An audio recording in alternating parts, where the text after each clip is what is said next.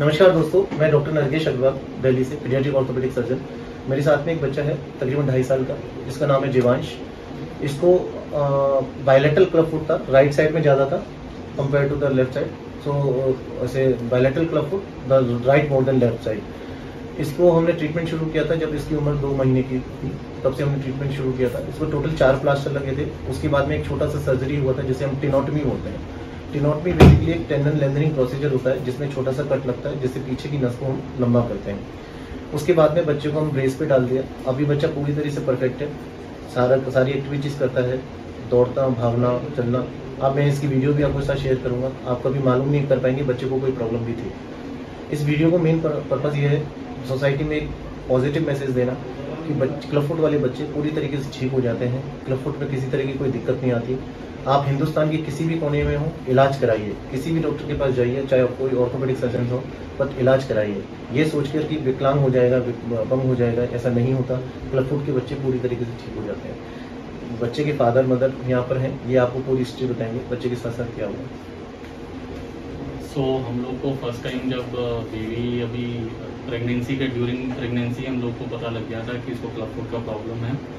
So we were really स्कैड सो हम लोगों ने दो तीन डॉक्टर से कंसल्ट किया उस टाइम पे कि क्या करना चाहिए हम लोग को बिकॉज़ उस टाइम पे हम लोग बहुत डर गए थे। तो उन्होंने बोला कि it is a treatable so don't worry अभी हम लोग कुछ नहीं कर सकते जब वैन बेबी इज़ बॉर्न तो उसके बाद ट्रीटमेंट शुरू हो जाएगा। So and it is a hundred percent curable treatment curable disease so उसके बाद फिर हम लोग, जैसे हम लोग डॉक्टर के कांटेक्ट में आए तो हम लोगों ने ट्रीटमेंट शुरू किया। सो so, इसको चार प्लास्टर हुए पहले इनिशली पैर को सीधा करने के लिए। उसके बाद एक छोटा सा ऑपरेशन हुआ था इसका। एंड उसके बाद हम लोग इसको बेसिस पहना रहे हैं कंटिन्यूसली अभी एट नाइन आवर्स पहना रहे हैं। तो अभी बिल्कुल नॉर्मल है इस टाइम बेसिकली बच्चा सारी एक्टिविटी कर पा रहा है। नीचे इंडियन टॉयलेट में जैसे पाता है दौड़ना भागना किसी तरह की कोई लचक वगैरह नहीं नहीं कुछ नहीं। आपको कभी कंफ्यूजन होता है कि किस पाँव में था किसमें नहीं था? मतलब पेरेंट्स किसी और जो आउटसाइडर्स होता अभी तो हम लोग देखते ही नहीं है कि किसी पाँव में था भी नहीं है किसी और जो आउटसाइडर जो किसी को पता ही नहीं है कि इसको कभी कोई प्रॉब्लम थी। देखिए आपको मैं फिर बार बार दे रहा हूँ किसी को मालूम भी नहीं पड़ता कि इसको कभी कोई ब्लड फुट की प्रॉब्लम थी।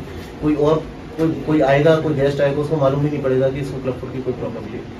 सो so, मेरा मेन मन पर्पज़ ये वीडियो का है कि आप कहीं भी हैं हिंदुस्तान के किसी भी कोने में हैं वहाँ किसी भी डॉक्टर के पास जाइए जो ऑर्थोपेडिक सर्जन हो वहाँ से इलाज कराइए। ये सोच करके कि क्लब फुट का इलाज इलाज है या अपंग हो जाएगा अपाहिज हो जाएगा ऐसा नहीं है।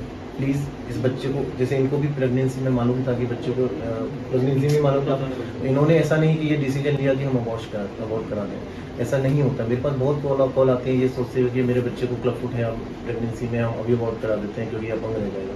ऐसा नहीं होता। यदि बच्चे को केवल क्लब फुट है, बाकी और कोई प्रॉब्लम नहीं है तो क्लब फुट पूरी तरीके से ठीक हो जाता है। एक नन्ही सी जान को दुनिया में आने दीजिए, उसका इलाज कराइए। डेफिनेटली थोड़ी सी दिक्कतें आती हैं, बच्चे को डेडिकेशन की ज़रूरत होती है। एक, ये तो एक हर माँ बाप का एक ड्यूटी होती है कि अपने बच्चे का क्या केयर करें। अब कोई बच्चा यदि मान लो पैदा होने के बाद में यदि उसका कोई फ्रैक्चर हो गया, भगवान न करे उसको कुछ कुछ ऐसी दिक्कत आ जाए कि वो चलने में दिक्कत हो, या उसे आप मार देंगे, ऐसा नहीं होता।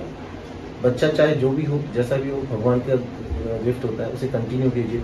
बच्चे को आने दीजिए। इलाज संभव है। आप एक पॉजिटिव एनर्जी के साथ चलें। थोड़ा डेडिकेशन की ज़रूरत होती है, लेकिन बच्चा पूरी तरीके से ठीक हो जाता है।